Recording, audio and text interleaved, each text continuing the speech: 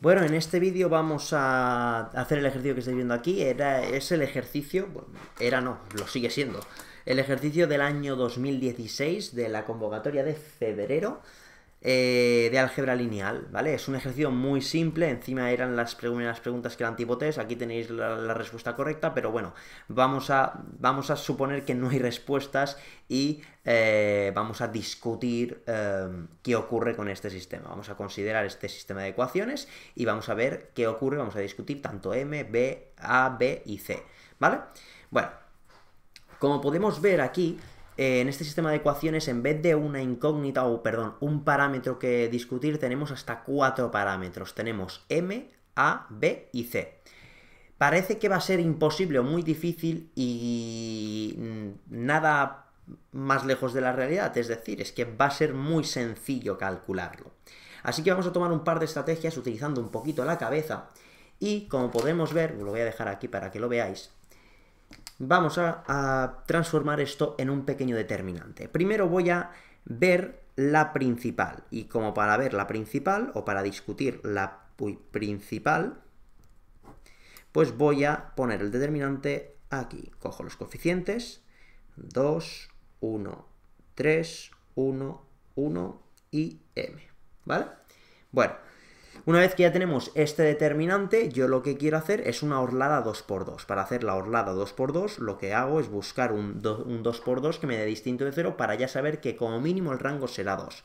Como puedo observar, esta orlada 2x2, fijaos que no voy a escribirlo de orlada 2x2 porque no voy a formalizarlo, porque el vídeo quiero que sea corto, 1, 1, 2, 1, como puedo ver, este determinante me da distinto de 0.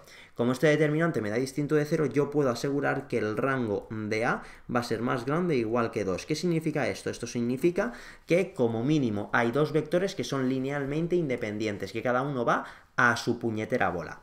Pero yo no he discutido nada con el valor de m, yo tengo que ver qué ocurre con el valor de m. Pero yo ya sé que indiferentemente, da igual cuál sea el valor de m, como mínimo ya será 2. Vale, ahora cogeré y diré, ¿qué ocurre con el valor de m? Entonces hago una orlada 3x3, amplío el determinante hasta el 3x3 y lo que voy a hacer va a ser coger esta fila, le voy a multiplicar por menos 1 y la voy a sumar en esta fila, quedándome el determinante 3x3 de esta manera. 1, 1, 1, 2, 1, 3, 0, 0, m menos 1, ¿vale? Una vez que tengo esto, desarrollo este por aquí, fuera y fuera, ejecuto su menor, hago su menor, posición positiva, por lo tanto m-1 y ahora lo multiplico por un determinante que como puedo observar, este es distinto de 0. Este determinante es distinto de 0. Muy bien, bueno, me es indiferente el número que me dé aquí, es, me es completamente indiferente porque como yo sé que es un número, este número lo paso al otro lado y se me anula. Total, como sé que es distinto de 0, no tengo que preocuparme. Lo paso al otro lado y lo quito, como si lo pasase dividiendo, ¿vale? Entonces 0 partido de un número, fuera. Así que me queda m menos 1 es igual a 0, ¿vale? Una vez que yo tengo que m menos 1 es igual a 0, yo lo que tengo es que m será igual a 1. Y en m igual a 1 pasarán cosas. ¿Qué pasarán? Bueno, pues pasarán las siguientes cositas. Y es que si yo sé que m es igual a 1, yo sé que el rango de a será 2. ¿Por qué yo sé que va a ser 2? Bueno, porque sé que como mínimo será 2 y cuando m sea igual a 1, nosotros tendremos que el determinante 3 por 3 nos ha dado como resultado 0. Así que si m es igual a 1, solamente habrá dos vectores que sean linealmente independientes. Aparte, fijaos que yo tengo 1, 1, 1, 1, 1, 1. Tengo este vector y este vector que son exactamente los mismos. Por lo tanto, solamente hay dos vectores que vayan eh, a su bola, por decirlo de alguna manera. ¿Bien? Bueno, pues una vez que ya hemos arreglado esta pequeña disputa, la ampliada ya la veremos. Bueno, si m es distinto de 1, yo ya, eh, yo ya sabré que el rango de A será igual a 3, ¿vale? Yo sé que, que, sea, que será igual a 3 porque es obvio que yo antes he visto que es superior a 2 y como solamente el valor de 1 me da que el determinante 3 por 3 es igual a 0, para todo valor que no sea 1, el determinante 3 por 3 será distinto de 0.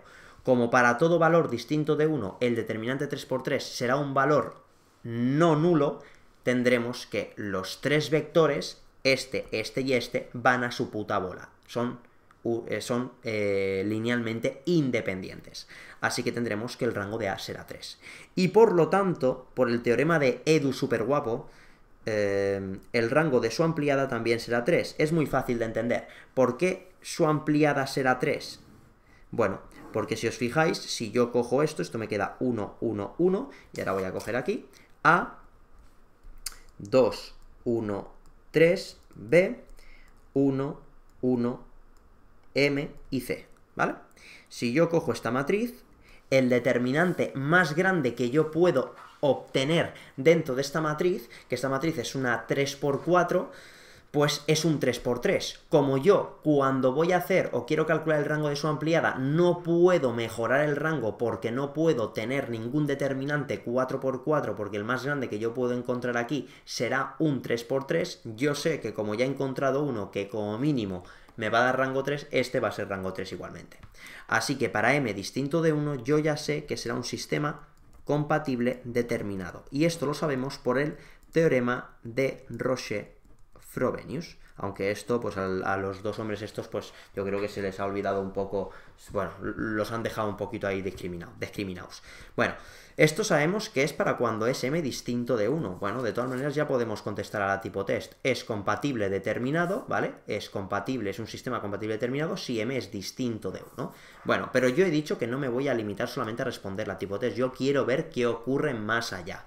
Yo sé que si m es igual a 1, el rango es 2. Pero ¿qué pasa con la ampliada? La ampliada, ¿qué ocurre con la ampliada? Porque la ampliada va a poder ser 2, 3, no lo sabemos. Bueno, como hemos dicho, yo antes he hecho este determinante de aquí, ¿no? Bien, como yo he hecho este determinante 2 por 2, yo voy a ver qué pasa con la ampliada. Si yo ejecuto el determinante de la ampliada, pues yo sustituyo la columna que yo no he orlado del 2 por 2. Es decir, ¿cuál es la que yo no he orlado? Yo no, yo no tengo esta. Por lo tanto, cojo estas dos y amplío a esta de aquí. Por lo tanto, me quedará el 3 por 3, me quedará 1, 1, A, 2, 1, B, 1, 1, C. Y por lo tanto, yo ahora tendré que vérmelas con este determinante de aquí. Si yo me las veo con este determinante de aquí, puedo observar lo siguiente. Yo quiero ver cuándo esto será igual a 0 o distinto de 0. Ya veremos lo que ocurre en función de, los parámetros A, B y C. Bueno, voy a hacer el mismo cálculo que he hecho aquí y voy a poner esta fila y la voy a restar en esta.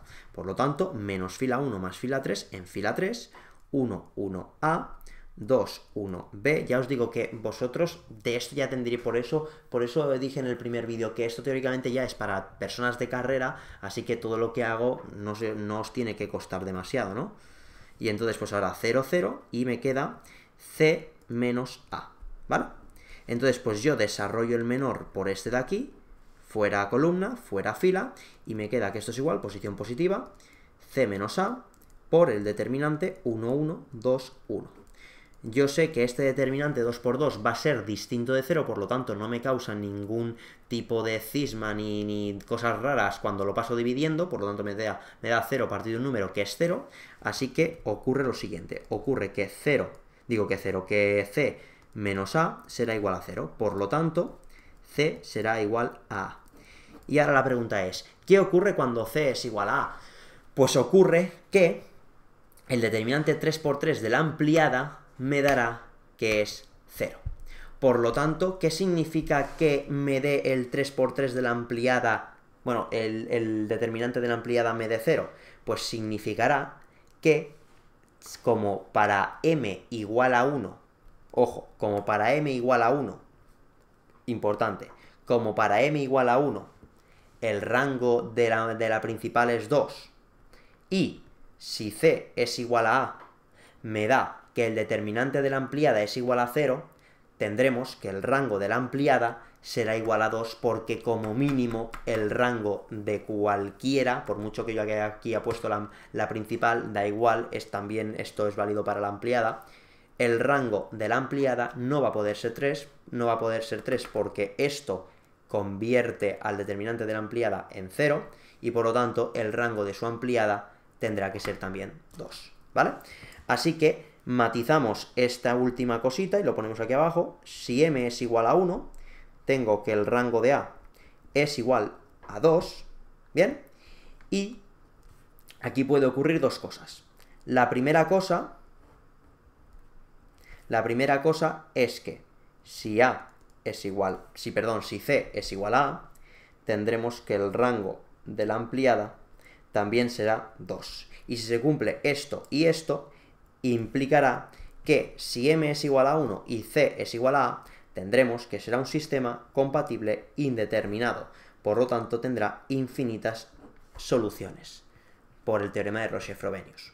En cambio, si m es igual a 1, sabemos que el rango de a será 2, y que c será distinto de a, bueno, si c, perdón, si c es distinto de a, entonces sabremos que el rango de su ampliada es igual a 3. Y esto implicará que tendremos un sistema incompatible. Por lo tanto, no tendremos ninguna solución. Para entender esto de una manera un poco así, bueno, pues sus cosas, tenemos que pensar, y aquí pues el vídeo ya, el ejercicio ya ha acabado, ¿vale? Para los que quieran quitar ya el vídeo, pues tenéis ya pues toda la libertad del mundo de poderlo quitar. Nos encontramos con que dentro del sistema principal, fijaos que el término independiente, es decir, la ampliada, me engloba solamente los posicionamientos, para que nos hagamos una idea. Esto, esto me marca eh, la, el sentido del, del, vector, ¿vale? Perdón, el sentido de la dirección del vector, y este nos marca el posicionamiento. Si yo ya sé que por aquí va a haber dos vectores que van a tener la misma dirección, ¿vale? Si estos ya tienen distinto posicionamiento, significa que esto ya no tiene nada que ver, es decir, esto hace que ya las cosas rulen un poco. Si tienen distinto posicionamiento, significa que este y este no se van a tocar, porque como pasan por distintos, tienen la misma forma, pero tienen, eh, ¿cómo decirlo? Tienen distinta posición, ¿vale? O sea, tienen la misma forma, van así, pero distinta posición. Por lo tanto, van a ser como paralelos, bueno, serán paralelos. Por lo tanto, no se van a tocar y por lo tanto decimos que es un sistema incompatible que tiene infinita, que tiene, eh, que no tiene soluciones. En cambio, si a nosotros nos da esto que tienen la, la misma dirección y encima nosotros hemos visto que haciendo la ampliada también nos da que está justamente en la misma posición, significa que es que se tocan, o sea, que tienen, que tienen la misma dirección, que están, tienen la misma forma, por decirlo de alguna manera, tienen la misma forma y encima están en, el mismo posicionamiento. Por lo tanto, implica que se tocan y por lo tanto tengan infinitas soluciones, porque al tener la misma forma significa que lo que tienen en común es una línea infinita de valores. ¿Vale? Espero que lo hayáis entendido, chicos. Bueno, me ha encantado hacer este vídeo, sinceramente, os tengo que decir que me ha encantado. Bueno, es que soy muy fan de álgebra lineal y bueno, de muchas cosas soy muy fan. Hala chicos, nos vemos en el próximo vídeo. Un saludo a todos.